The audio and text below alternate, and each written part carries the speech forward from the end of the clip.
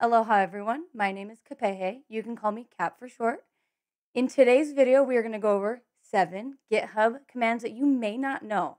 So this article that I wrote was recently published on scotch.io. You can find it there, but we're going to go through each one step by step in the terminal so we can see how each one actually works in a project.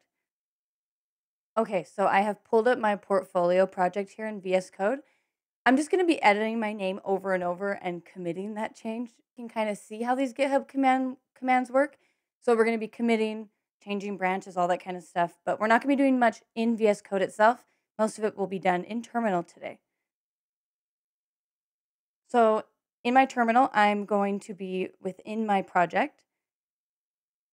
The first one that we're going to talk about is git add dash p. So this command, many of us have done git add and then the file name or git add period to add all the cha- all the files that we've changed at once. We've all used that a bunch of times, but what does git add dash p do? So have you ever wanted to commit just a section of a file and not the entire thing? So let's go back to VS Code. So in here, I'm going to update, I'm just going to change my name to Kapehe underscore OK and save that. And if we head back to our terminal, we're going to see that indeed index.html was changed. So normally we could do git add index.html or git add period, and that would add all of it. But let's say we had a bunch of different changes within the file and we only wanted to commit the change that was the name update. So if we did git add dash p, we would see what it was before and what it is now. So the red is what it was before, green what it is now. You're going to see stage this hunk. So Git calls it hunks. and in there, it's going to give you a bunch of different letters that you can choose from in what you want to do with that hunk. So Y will go down the list. Y is stage that hunk. N is do not stage this hunk. G is, and it looks like a Q, but it's a G. Select a different hunk to go to. A is stage this hunk and all the other hunks in this file. So it's kind of just like doing git add and then the file name. D is do not stage this hunk or any of the other hunks in this file. So we're kind of canceling this whole command. And E is edit the current hunk manually. That question mark will print help. So we're going to do Y because we want this one to be staged. And that's git add dash p. In our next git command that we're going to talk about, it's going to be git commit dash dash amend. So sometimes if you are creating a commit and you do your message for the commit and you press enter too quickly, you may have done a typo. You may so here's where you can go back and actually edit that title that you gave that commit. So let's do git status. We see that our index.html file is ready to be committed. So we're going to do git commit dash m. This is a commit, and I'm going to make a mistake. Um, and we're going to push that. So I want to go back and be like, oh no, I, I put too many T's on commit. So let's change that. So we're going to do git commit dash dash amend dash m. This is a commit. Now it's been changed from this is a commit with lots of T's to this is a commit with one T. So now that has been updated and now we can go ahead and push that and our coworkers will see that we can actually spell commit correctly. All right, so for our next GitHub command that we're going to talk about, this one is git reset dash dash soft, capital H E A D, tilde, and a one. Okay, so that's a lot going on in that command, but let's break it down. So git reset has a variety of things that can trail it. There's dash dash hard, mixed, soft. We're going to talk about soft. So have you ever committed something and you want to remove that last commit but keep the changes that you had in it? So this command does just that. So let's go back into our VS Code. Let's update just the name just so we have a change check the status on that. And indeed, index.html has been updated. So let's add that in, check the status again, and we're ready to go. Okay, so we are ready to commit. So git commit dash m, and we'll do testing soft because that's what we're testing right now. So we've created that commit. Now let's say we're like, oh no, we haven't put in all of the changes we wanted for that commit, or we want to edit it a little bit. So let's remove that commit, but keep all the changes that were still in there. So we're going to do git reset dash dash soft capital head and then one. Now, how do we know if that was actually successful? We're going to try and push. And it's going to say that everything's up to date. There's nothing to push. Why? Because we took that commit away. There's nothing to commit. So if we check again, we'll do git commit dash m testing dash dash soft again. And we'll do git push origin master. Now, indeed, we see that that commit went through. We didn't reset it with the git reset, and we were able to push. I know it's a long, a long command, but it's very useful in cases like this where you need to go back, you need to edit, or you need to add more, and you get to keep all your changes, but just take away that commit and continue to work in it. Okay, in this next command, we're going to go over git checkout. Now, we've all used git checkout, but there's a little more to it that can kind of be really useful. Let's talk about it. So, we're going to do git checkout, the name of a branch, and then the name of a file. So, let's say we do git checkout um, branch name index.html. So it'll look something like that. So let's create a branch. Git checkout dash b, we'll do Kapehe test. So now we have switched to a new branch and we can just double check that we are on Kapehe test. Perfect. So from there, we are in a new branch. We're going to update, we're going to go back and update the name again, save that. But now that we are in a different branch, git status. So on branch Kapehe test, we have that change. So git add, and indeed it has been added.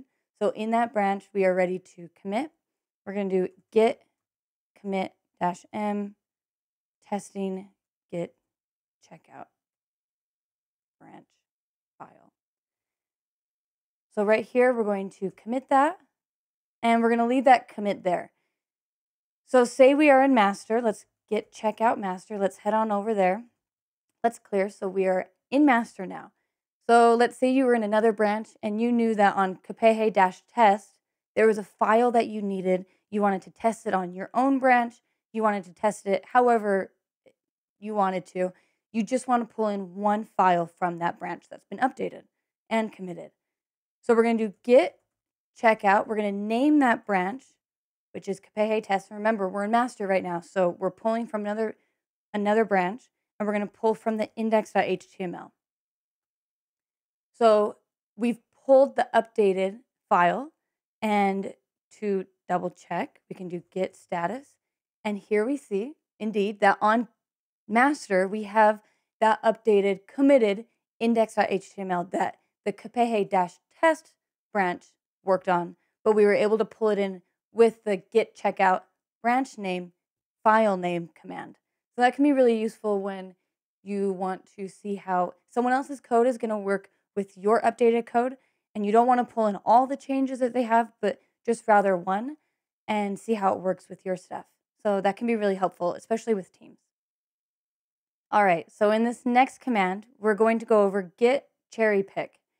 So this command is a little bit like the last one we did, the git checkout branch name, file name. But rather than diving into a branch and picking out one particular or a particular file, rather than doing that, we want to pull in the entire commit from a particular branch. And that's what cherry pick does.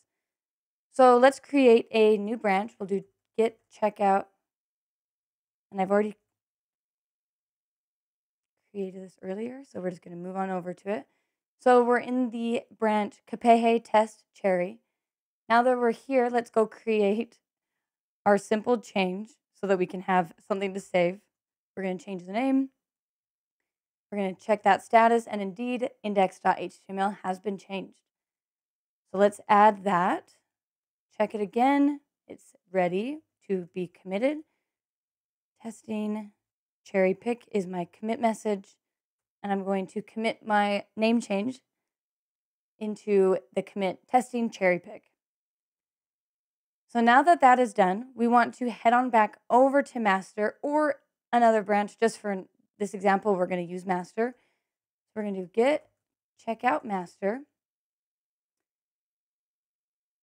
So we're in master and our teammate has told us, hey, in Kapehe test cherry, you're going to want that commit. It's going to be very useful for testing out your code, that kind of stuff.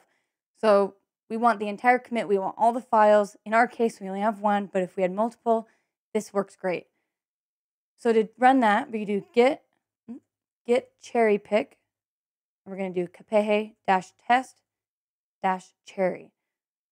We hit enter, and indeed, we see that testing cherry pick from kapehe test cherry branch was indeed pulled over, and we have that in master.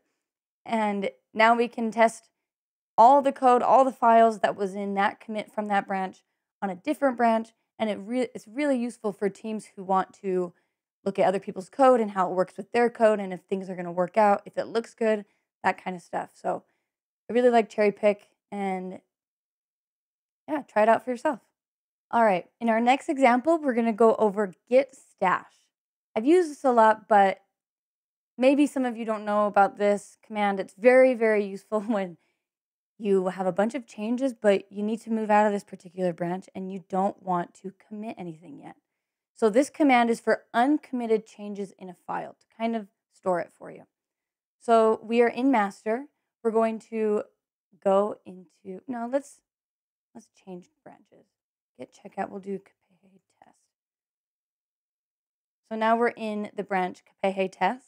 And in here, let's go again and change the name just so we have a change. Come back. And indeed, index.html has been updated.